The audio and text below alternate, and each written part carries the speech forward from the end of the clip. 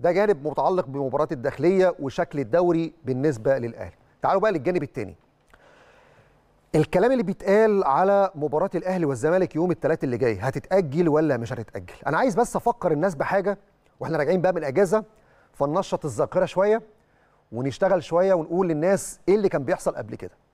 فاكرين ماتش الأهلي والزمالك اللي كان في الدور الأول؟ أو نقول الزمالك والأهلي لأن كانت مباراة الزمالك وقتها. الماتش كان هيتلعب في شهر 10 شهر 11 حاجة زي كده. المباراة اتأجلت.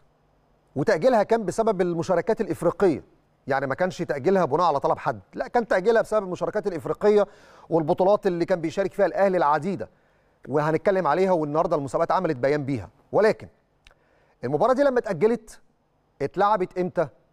اتلعبت بعد كأس الأمم الإفريقية. في شهر ثلاثة في شهر أربعة في الفترة دي يعني. إيه الفرق ما بين مباراة الدور الأول اللي كانت هتتلعب في شهر 10 11 أو اللي اتلعبت واتأجلت لبعد انتقالات يناير إن التأجيل ده جه في مصلحة الزمالك ليه؟ لأن أنا لو كنت لعبت المباراة في توقيتها أو ما كنتش لعبت المباراة في توقيتها لو كانت المباراة اتأجل ميعادها أسبوعين ثلاثة أو لشهر بما إن بقى الناس بتتكلم على ترتيب المؤجلات ترتيب المؤجلات يقول إيه؟ ماتش الأهلي والزمالك كان بيتلعب فيه عام 2023 ما يترحلش ل 2024 يتأجل لآخر ديسمبر يتأجل لقبل كأس الأمم يتأجل لأيا كانت الظروف اللي ممكن يتأجل بسببها ولكن ما يتأجلش لبعد انتقالات يناير. ليه؟ إيه الهدف انتقالات يناير؟ لأن فريق كان ساعتها عنده مشكلة في القيد وما كانش عنده لاعبين بنفس السكواد اللي كان عنده بعد انتقالات يناير. اللعيبة اللي جابها بعد يناير غير ال squad اللي كان موجود قبل يناير. يبقى بالتالي التأجيل ده أفاد مين؟ أفاد الزمالك. أضر بالأهلي؟ أضر بالأهلي جدا. ليه بقى؟ تعالى أقول لك ليه. الأهلي والزمالك لما لعبوا الدور الأول المؤجل قبل مباراة مازيمبي كان ده في مصلحة الزمالك مش في مصلحة الأهلي. ليه؟ لأن الأهلي وقتها كان بيفكر في ماتش مازيمبي وكان رايح على مباراة ال semi-final دوري أبطال إفريقيا. الزمالك ماتش بثلاث نقاط ولسه الدوري طويل. لكن جاي تحط لي مباراة مز... الأهلي والزمالك المؤجلة لمدة خمس شهور قبل مباراة مازيمبي ده كان في مصلحة الزمالك مش في مصلحة الأهلي. ومع ذلك الأهلي التزم بالجدول ولعب ولم يعترض. حد فاكر اللي حصل ده؟ محدش فاكر. وقتها الزمالك كسب. لأن الأهلي كان عنده مباراة أهم كتير جدا من ماتش الزمالك. والحمد لله راح مازيمبي.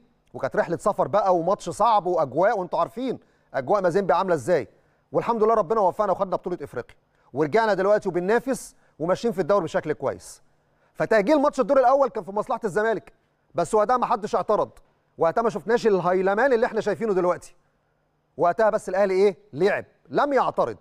ومش لأول مرة كان بيتحط للأهلي مباريات في توقيتات غلط وهو بيسافر عنده ماتشات في أفريقيا.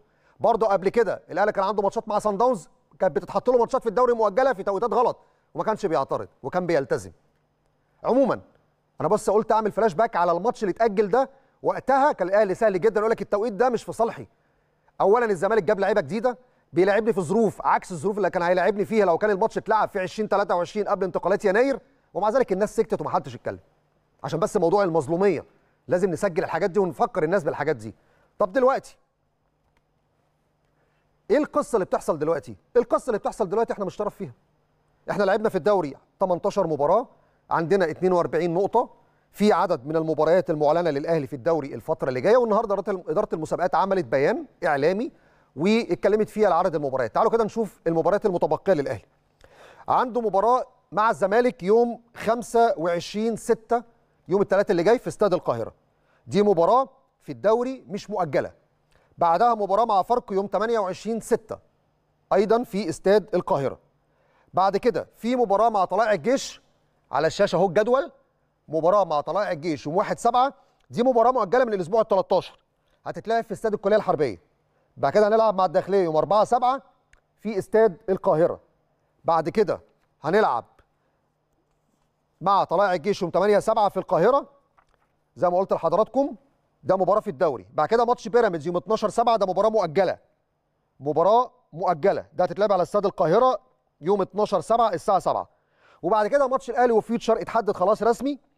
ماتش الأهلي وفيوتشر يوم 16 7 على استاد القاهرة. ودي مباراه مؤجله من الأسبوع ال 17 يعني دلوقتي قدامنا حوالي سبع مباريات للأهلي. منهم ثلاث مباريات مؤجلة من الدور الأول. ماتش الجيش 1 7 ماتش بيراميدز 12 7 ماتش فيوتشر يوم 16 7 ثلاث مباريات مؤجلة من الدور الأول وفي أربع مباريات في الدور الثاني على النقيض على فكرة الزمالك برضو عنده مباريات مؤجلة. الأهلي عنده ثلاث مباريات مؤجلة الزمالك عنده مباراتين مؤجلتين.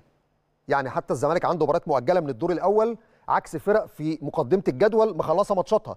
فيوتشر وانبي والاتحاد وسيراميكا و... والمصري كل دول مخلصين مبارياتهم.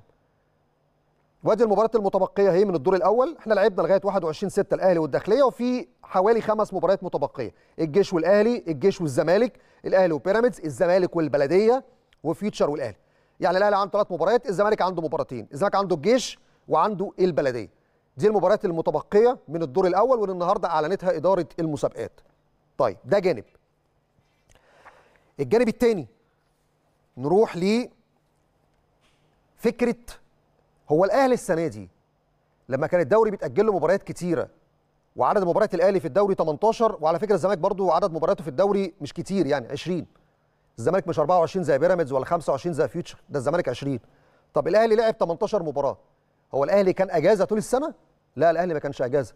النهارده إدارة المسابقات عملت حاجة تاريخية. وإدارة المسابقات إحنا هنا أكتر ناس كنا بننتقدهم.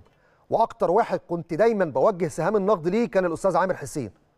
ولسه اوجه ليه سهام النقد في حتة ماتش الأهلي وبيراميدز على فكرة. لأن برضو أنت حطيت لي الاهلي كم هذا المب... كم هذه المباريات قبل ما لاعب بيراميدز؟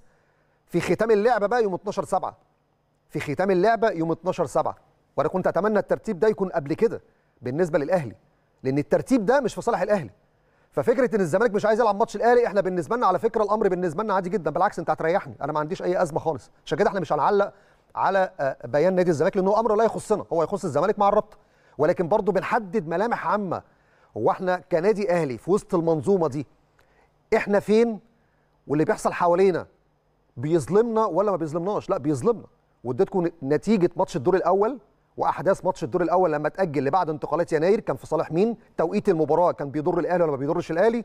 ودلوقتي المسابقات بتتكلم على إن الأهلي من خلال بيان رسمي لعب من يوم 15 9 2023 لغاية يوم 12 7 2024 51 مباراة. 51 مباراة. ضيف عليها كمان ماتش فيوتشر يوم 16 فيبقى 52 مباراة. ضيف عليها ماتش الألمونيوم يوم 19 7 يبقى 53 مباراة. هات لي نادي في مصر لعب كم هذه المباريات من 15 9 ل 19 7 بص عدد المباريات قد إيه؟ وقدامكم اهو على الشاشة مباريات النادي الأهلي في الدوري وفي الكاس وفي كاس العالم وبطولة الدوري الإفريقي والسوبر الإفريقي ودوري أبطال إفريقيا. الأهلي لعب على فكرة كام مباريات؟ ما فيش نادي في العالم لعب هذا الكم. 25 ماتش في الدوري لغاية 22 7 إحنا ممكن نزود ماتش فيوتشر يا جماعة بس نخليهم 26 يبقى 26 ماتش. أربعة كاس مصر وسوبر مصري. منهم ماتشين في الإمارات وماتشين في نهائي الكاس. منهم ماتش في السعودية. يعني حتى الماتشات دي كانت فيها سفريات. كانت فيها رحلتين للسعودية والإمارات. أدي أربع مباريات. كأس عالم أندية ودوري إفريقي سبع مباريات. والدوري الإفريقي فيهم على فكرة سفر. وكأس العالم كان فيهم سفر. السوبر الإفريقي ودوري أبطال إفريقيا. كان فيهم سفر. أنا في السوبر الإفريقي لعبت في السعودية. أنا رحت السعودية السنة دي ثلاث مرات على فكرة. دوري أبطال إفريقيا لعبت 14 مباراة. منهم كام رحلة سفر. أنا في مباريات مع فرق سافرت لها. ما لعبتش مباريات مع فرق في مصر. يعني ما فيش فرق ما عندهاش ملاعب فجت لعبت في مصر. ده أنا سافرت كل السفريات. رحت الكونغو ورحت تونس ورحت تنزانيا ورحت الجزائر. لفيت أفريقيا. 15 مباراة على مستوى القاره يطلعوا كام في النهاية؟ 52 مباراة. أنا ضفت ماتش فيوتشر. 52 مباراة. كان نفسي يبقى في بيان من الرابطة أو من إدارة المسابقات لعدد مباريات الزمالك وعدد مباريات بيراميدز. كنت هتلاقي أقل من العدد ده من 10 إلى 15 مباراة. شوف الكم ده كله ومع ذلك الناس بتطالب بالمساواة والمظلومية وكلام أنا شايفه بصراحة يعني بأمانة حق يراد بيه باطل. لأن الترتيب اللي بيحصل في الجدول وتأجيل ماتش القمة بتاع الدور الأول لبعد انتقالات يناير وإقامة المباراة قبل السفر إلى كونغو الديمقراطيه لمواجهة مازيمبي وترتيب المباريات الأهلي قبل مواجهة بيراميدز المباراه اللي هتكون فاصلة في شكل المنافسة. كل ده كان بيخدم الزمالك وبيخدم بيراميدز مش بيخدم الأهلي. ولكن لما نشوف الاجتماعات اللي هتتم النهارده في مباراة جاهزين. مفيش مباراة شكرا جدا ثلاث نقاط وراحة واستعداد لاستكمال المشوار. طيب